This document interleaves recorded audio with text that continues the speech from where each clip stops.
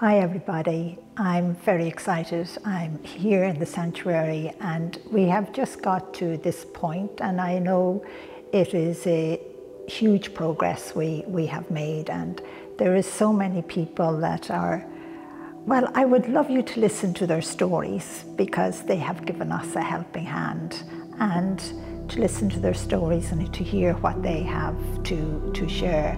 Um, so, so much of the sanctuary has just come to life and I, I know there is, we're still only halfway there, so there's still another huge amount to, to happen. So I'm just hoping that you all listen to all of the people that are going to share the story um, about how they, they have helped and, and what it has meant to them emotionally and even within their heart and how would I say the joy of, of being here and giving a helping hand.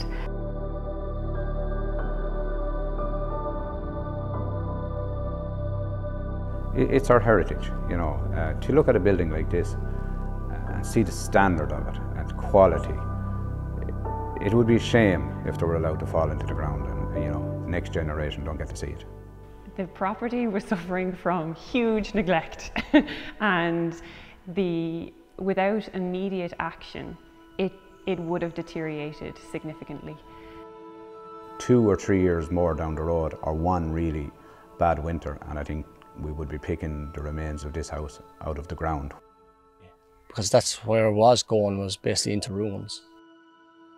We live in a very fast society at the moment and, and we hardly ever look back or just stop and reevaluate what's going on. As with everything that Lorna does, the right people have come towards this project at the, at the right time. They focus hard on restoration before replacement. So from a walled garden, which is a protected structure, right down to a gate lodge and to the main house, which is a Georgian building, are all going to be reused. And anything that we can do to bring back that social history as well as the architectural history is really important. It was just so overgrown. Um, we couldn't actually really see any of this wall garden. It was just all just brambles, briars. Um, I didn't really know where to start. We did a soil test here and the fertility of the land is still there, like it's excessively good. So the crops that we're producing are health-giving, full of nutrients and vitamins and, and antioxidants. When we first arrived on the, on the property and we're trying to access the east wall garden, you know, the, the, the wall wasn't visible. We couldn't open the gate to get into the walled garden.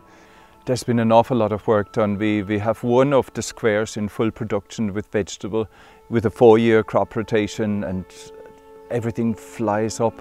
We fenced in an area for chickens, which will be, a, be the most, the happiest chickens that you'll ever see in the world, underneath apple trees, with tall grass and plenty of space. The, the roof, we've managed to salvage the blue Bangor slates that are over 100 years old, carefully removing them from the existing roof, grading them, reholing them, and then replacing them carefully and expertly to recreate the traditional Georgian look. And the fact that the Seraph Foundation are restoring elements on the site and replenishing the existing woodland, harnessing the energy from the site itself, will all provide a fantastic, tranquil setting for people to come to. It's incredible the way things can turn around in a short period of time, but um, there's quite a bit more work to do, but it's good to see something of this age come back to life.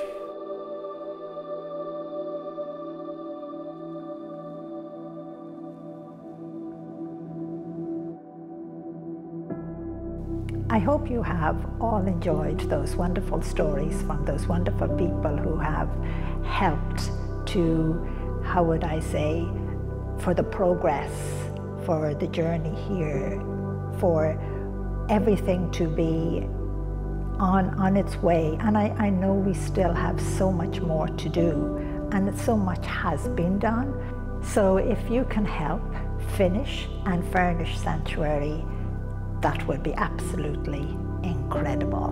And thank you so much.